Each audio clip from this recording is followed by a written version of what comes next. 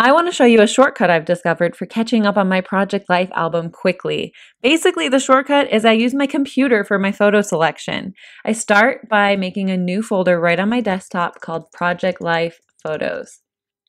Then I use a program called Adobe Bridge to view my pictures. I love this program, first of all, because it's free, but second of all, because it looks at your pictures where they are saved on your computer. You don't have to import or export from this program, it looks at them in the folders that already exist. But the benefit of this program is the speed. You can quickly flip through your pictures and, and preview them. You can also flag them as favorites if you want to include them in your Project Life album. So let me show you how I set up my Adobe Bridge screen. On the left, I have my folders panel. In the middle, I have the preview panel. If that is not visible, you can right click and select preview panel. And at the bottom, I have the content panel. If that's not visible, again, you just right click and select content panel. I've closed all the other panels to kind of simplify this. One other thing is to come up to your preferences. We're going to make one small change that will make this faster. Under the labels, you're going to turn off require the command key to apply labels and ratings. So make sure that is unchecked.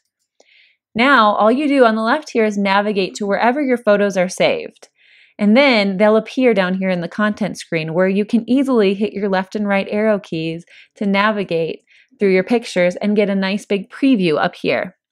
If you see one you'd like to include in your Project Life album, all you do is hit the five key and that will give it five stars.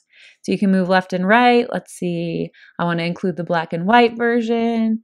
I don't like that one. Oh, that's a good one. Five maybe the black and white. So you just like that, you move side to side and flag the ones you want. After you've finished everything in the folder, you can come up here to the star icon and filter show five stars. That's going to show you only the ones that you flagged. Then you can hit a keyboard shortcut, Command A, to highlight all of them, hit Command C to copy them, and then find that folder over here on the left that you created on your desktop. So it should be under desktop, Project Life photos, and Command V to paste them in there.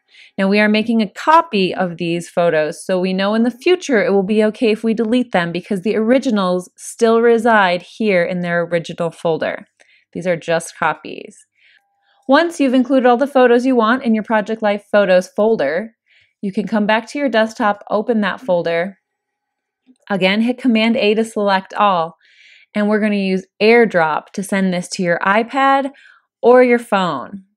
So get out your device that you want to send it to, unlock it, make sure it's active, and then when you right click, share, AirDrop. Your device should appear and you select the device. Then it's going to ask you on your device if you'd like to accept the photos. And now they all exist on my phone. So I can go through the Project Life app on my phone, dump in all those pictures that I selected, and when I'm finished, I can delete them from my phone and I can empty them from this folder here and move on to, let's say, the next month or the next year, wherever you're trying to catch up. So that's it. AirDrop I've found to be the fastest way to catch up on my Project Life pages.